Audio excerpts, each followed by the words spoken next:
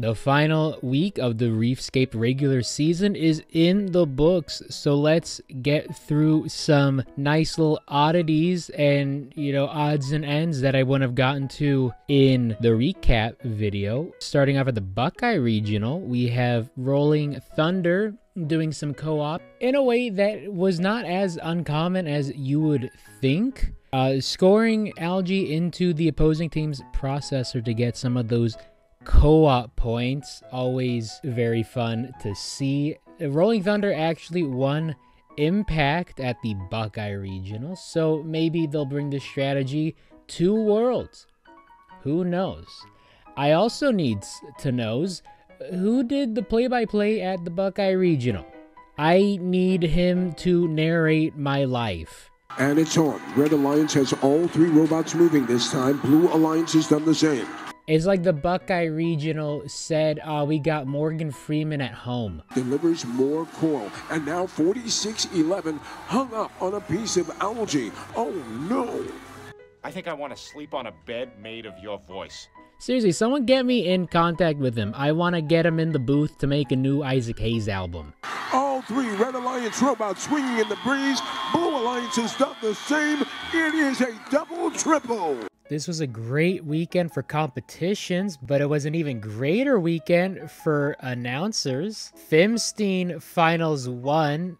Uh, he said it. He said the thing. I've been doing the Oh Baby a Triple soundbite for Triple Deep Climbs, but the announcer said it organically after a triple climb. We got one, two. Oh, baby, a triple on the red side. On the New England divisions, I goofed a bit. I said the four seed Sosick Alliance faced off against the two seeded Ballard Alliance. It was actually the two seeded Ballard against the four seeded Sosick. Nashoba Robotics got trapped in their first district match on the Sosick field. Keep in mind, this team was the first pick of the first alliance. The first playoff match on this field. Their autonomous went the wrong way. No problem, just go back through the red station. All the cages are low. You can just go through. Nope. Swings up, gets stuck on the cage, takes them out of the whole match, lets the eight seed just run away with it. I mean, at least you get the parking points. They would go on to get their revenge against the eight seed in the lower bracket later on, uh, and then they'd fall to the two seed, who would then fall to the four seed, and then the four seed would just win the whole shebang a bang. So numbers mean nothing in week six. Looking at an amazing team at the Aerospace Valley Regional, 1700 Gatorbotics had some trick shot scoring. Also interesting that they're called the Gatorbotics, despite the fact that there are no gators in California. But they got a short bot. We stand short kings in this household. And don't let anyone tell you that small bots can't score L4. You just gotta send it. If you miss it, hey, counter for some trough points if you're lucky. Just reload and send it. I don't know why they didn't go for uh, trough bot or processor if you want to short bot. Co-op bots could have cooked this season, but you know, I, I love the strategy they're going with just yeet. This is a match where they were a defense bot, but they got an auto shot, their only shot of the game because they were on defense the whole time. But they get the park, and I'm showing this because it's a one point win for them.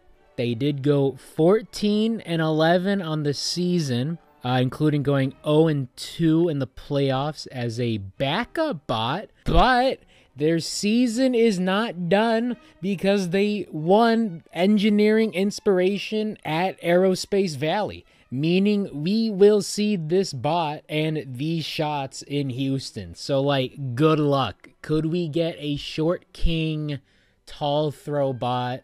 World champion, maybe? Also at Aerospace Valley, we had the return of Team 22 Double Deuce. They did okay for the fact that they played in their first match since 2006. Tag yourself.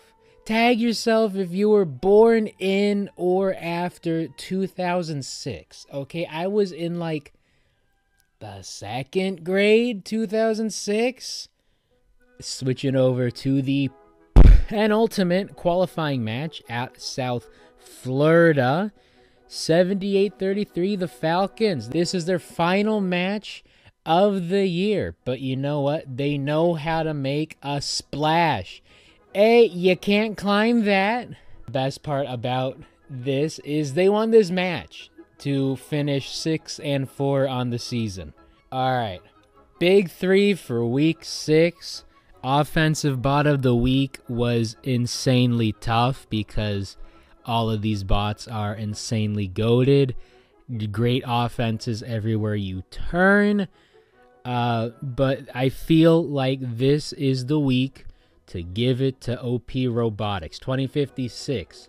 They got a five piece, and you know, five piece autos move mountains. They proved to be an extremely effective algae bot for the fact that they were nothing but tube in uh, like week one when I talked about them. And they even got a deep climb with a taffy puller. So here's hoping we get to see them cook at Worlds next week. Because this is just what the doctor ordered if they want to make another deep playoff push at champs. Defensive bot of the week. Also very tough because we saw possibly the best defense of the year this week.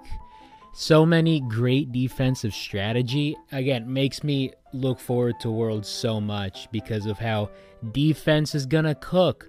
I called 7530 Raiders of the Lost Spark Ray Lewis for their hits at the Granite City Regional Finals. And I do have a precedent for giving it to a finalist team, uh, but I have another one in mind. So, honorable mention for them. Ray Lewis is high praise to call a team.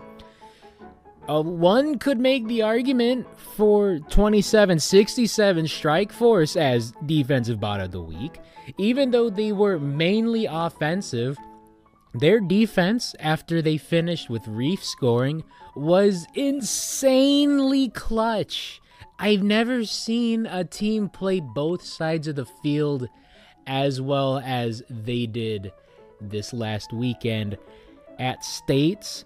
Still honorable mention because defense was insane throughout. I'm giving defensive bot of the week for week six to 687 Nerd Herd at Aerospace Valley, mainly because their defense had a visible difference. They lost finals two because they got stranded on an algae.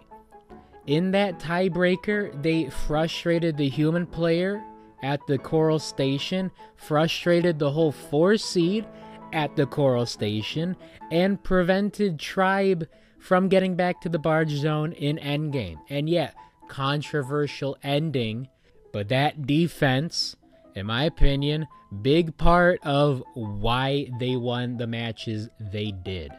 And the top moment of the week, I'm giving it the playoff match six at the Chesapeake District Championship is this the most combined points of algae we've seen in a match? 868's human player put up 10 by my count, might be uh, counting a bit wrong.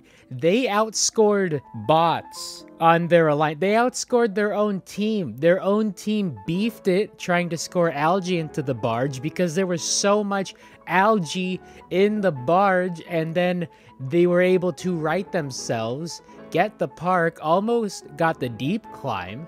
So much algae everywhere. Just oh, oh for me, okay. I guess I'm, I'm I guess I'm scoring it into the processor, into the barge. The announcer was loving it. 686's guy has the softest hands in town, puts another piece of algae up in that barge. They're going to have to send another barge out to hold on to it. So that's it for week six. Next stop is Worlds. Make sure you like and subscribe so you don't miss out on my Worlds predictions because divisions have been announced. And oh, buddy, oh, pal, these are some divisions of all time. So I will see you then. And remember, gracious in victory, professional in defeat. Amen. Attempting to put an algae into the barge, but I don't know if they're to make it. Let's look over on the Blue Alliance. 7611, Amal Hawk Robotics. Oh, we have a robot tipped over. That is Miami Beach Bots.